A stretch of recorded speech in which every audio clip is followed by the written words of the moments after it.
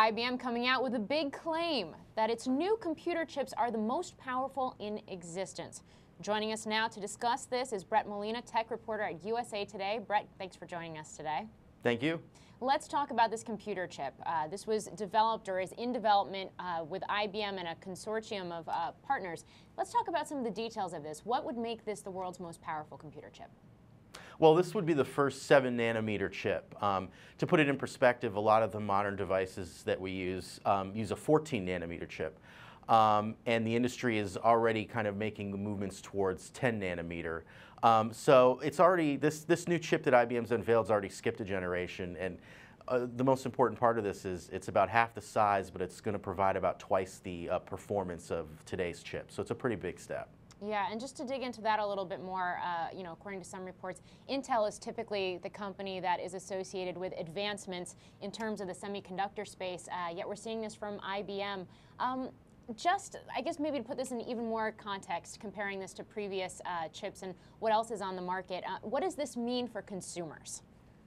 Well, it means you're going to get smaller devices and, and just electronics in general that are going to perform a lot faster, that are going to consume less battery and they're just going to work more efficiently.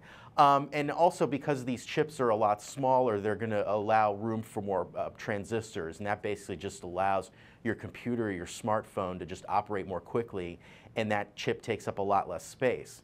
So again, you're going to see your smartwatch perform a lot better. You're going to see smartphones, smartphones perform a lot better as well. Um, it's going to be a little while before these chips come out, maybe a couple years or so, but you're definitely going to see vast improvements compared to what we use now. Uh, how key is it the fact that this is coming from IBM and not a competitor? What does this mean for the company? Also, what does this mean for the technology? Because in terms of this chip uh, using silicon ger germanium instead of pure silicon, um, is that a game changer? Are other companies going to follow suit?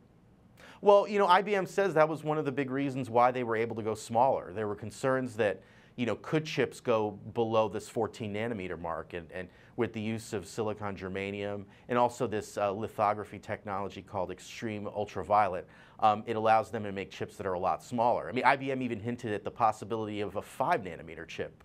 Um, so you know, it's, it seems like a very big step forward in terms of chip making. As for IBM itself, it has its own, um, you know, things that it's working on as well, cloud computing being a big thing. They're also doing a lot with big data.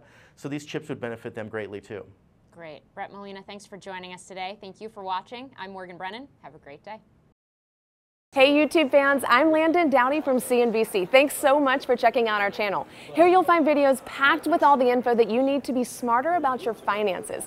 Be sure and subscribe by clicking right here and click on all the videos around me to see CNBC's original series Young Money, Tech Bet, Cramer's Mad Money, and all the latest from CNBC.